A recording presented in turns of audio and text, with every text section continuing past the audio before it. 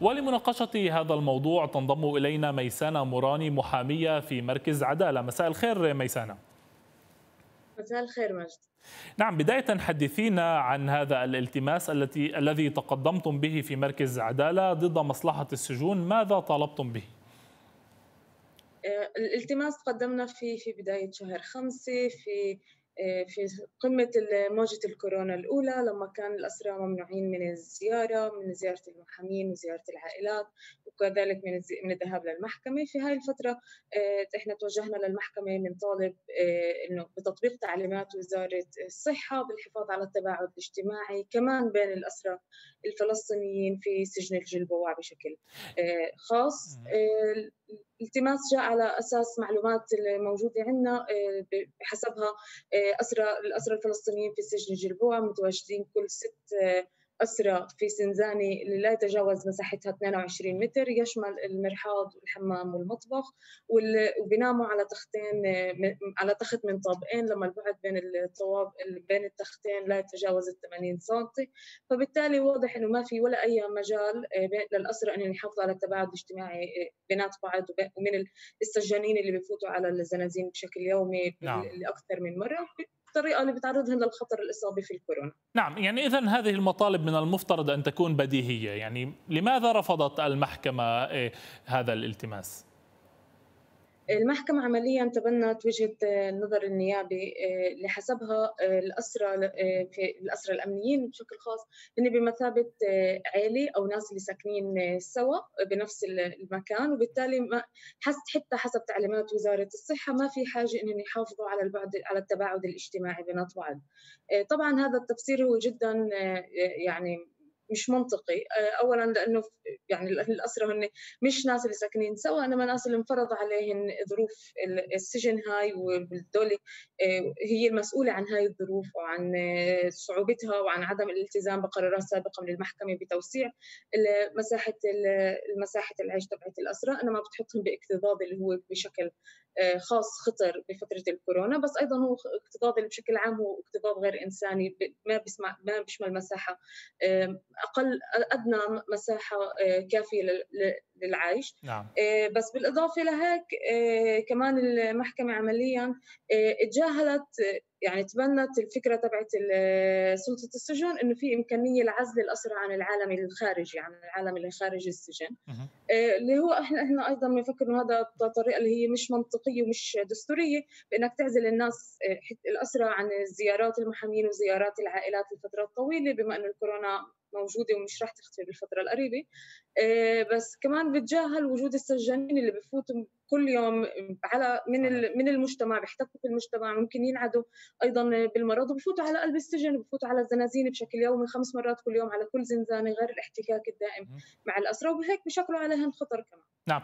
يعني السؤال هل هذا التباعد آه، الاجتماعي داخل السجون يحدث في آه، السجون يعني غير الأمنية في يعني الاسرى الجنائيين لدى الاسرى الجنائيين؟ لماذا التعامل مختلف يعني مع الاسرى الامنيين بالفعل يعني من من بداية أزمة الكورونا مصلحة السجون الإسرائيلية كان في عندها استراتيجيتين، الاستراتيجية الأولى هي العزل السجون عن العالم الخارجي ومنع الزيارات كما ذكرت، والاستراتيجية كانت الثانية اللي كانت مخصصة للاسرى للسجناء الجنائيين واستثنت الاسرى الفلسطينية وهو سياسه أيضا تقليل الاكتظاظ عن طريق يعني إطلاق سراح الاسرى إذا كان لفرص خاصة إذا كان عن طريق ما يسمى يعني التحرير الإداري آه، قبل قبل الوقت آه، وبهاي الأدوات تم يعني إطلاق سراح ما يقارب الألف آه، ألف سجين جنائي من كل هاي الترتيبات اللي تم اتخاذها عمليا تم استثناء الأسرى الفلسطينيين من هاي الترتيبات وكانت معده فقط للأسرى للسجناء الجنائيين وهذا واحد من الادعاءات اللي قلنا كمان قدام المحكمة إنه مش منطق يعني فيش ولا أي صحيح. منطق لا لا إنساني ولا قانوني اللي بيقول ليش الاسرى ليش الاسرى الفلسطينية مش هن زي العائله ومش لازم يكون في تباعد بيناتهم بينما الاسرى السجناء الجنائيين بلا بيتم إطلاق سراح ألف ألف سجين وتخفيف الاكتظاظ آه، بيناتهم. يعني ألا يتعارض هذا مع لربما القانون الدولي حقوق الإنسان؟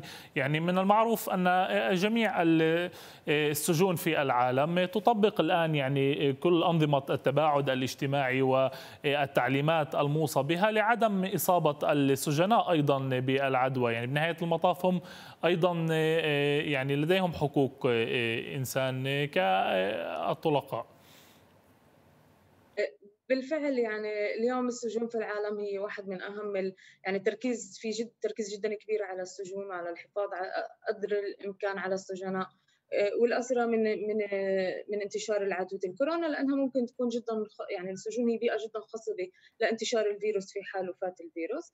آه، وبالفعل يعني اليوم يعني جد جهات مختلفة آه، عالمية بتطالب في تطبيق التباعد الاجتماعي أيضا في, في قلب السجون. واضح أنه في مش ممكن بدرجات يعني كبيرة زي العالم زي التعليمات العامة بس على القليل في محاولة لحل الحفاظ على التباعد الاجتماعي. إذا كان منظمة الصحة العالمية بتطالب في هذا الموضوع إذا كان المفوض آه، مفوض الأمم المتحدة لحقوق الإنسان. هناك أيضا المقررين الخاصين في الأمم المتحدة كان في عندهم تطرق خاص للأسرى الفلسطينية ومطالبة بتحريرهم آه، وأيضا يعني من من فحصنا هذا الموضوع يعني هاي السياسة تطبق حتى في السجون مثلا في أمريكا أو في محلات مختلفة في العالم. نعم. اللي في محاولات مختلفة واستراتيجيات مختلفة لزيادة التباعد الاجتماعي بين بين المساجين بقدر الإمكان آه، اخذين بعين الاعتبار بس مصلحه السجون الإسرائيلية والمحكمة العليا حتى نعم. ترفض إنه هذا يعني هذا المبدأ لازم يتم تطبيقه على الاسرى الفلسطينيه. نعم ميسانه موراني محامية في مركز عدالة شكرا جزيلا لك على هذه المعلومات.